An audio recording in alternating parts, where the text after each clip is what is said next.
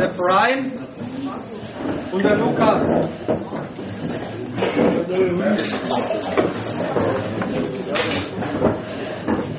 Stoppi.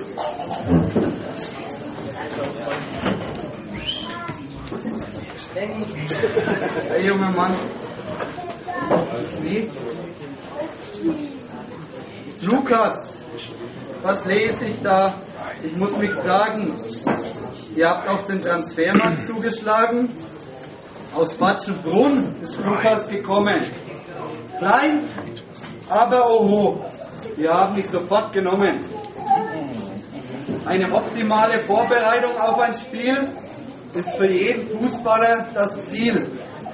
Doch leider warst du oft verletzt. Für deine Kondition ist das wie die Pest. Beim Training warst du deshalb nicht so oft, wie unser Trainer sich das erhofft. Vor einem Jahr haben wir dich noch gar nicht gekannt. Inzwischen läuft dein Spiel und zwar sehr rasant. Drum, lieber Lukas, bleib auch in Zukunft treu und hab vor deinem Gegner keine Scheu. Komm öfter zum Training.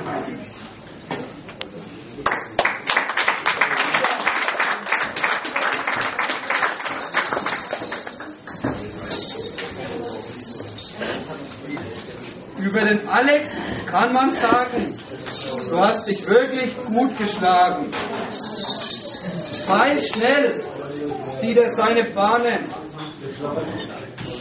Von der Mittellinie bis zu den Fahnen.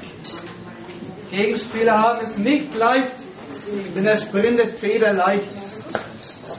Sein Einsatz, der ist ungebrochen. An keiner Niederlage ist er je zerbrochen. Wenn Alex auf dem Spielfeld steht, stets bei ihm die Post abgeht. Mit Brian spürst du unsere Flügelstange. Den Gegner wird es oft Angst und Bange. Zwei Gegner mussten meist hinter dir herherzen. Alex, du bist nicht zu ersetzen.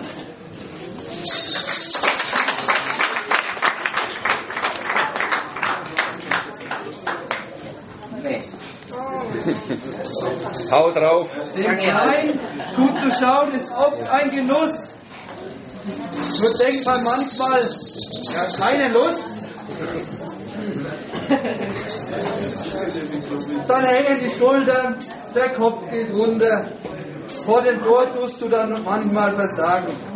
Mensch, Brian, Kopf hoch und nicht verzagen. Beim Magenzeiger ist der stramme Schuss, vor dem sich jeder Torhüter in Acht nehmen muss.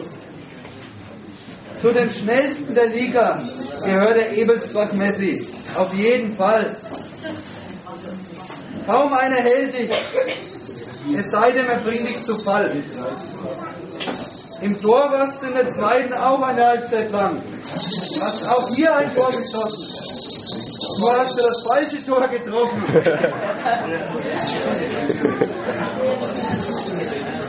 Auch hinter dir sind die großen Vereine her. Der Trainer vom Stützpunkt nervt seinen Vater sehr. Freund, bleib bei uns und gib noch mehr Gas.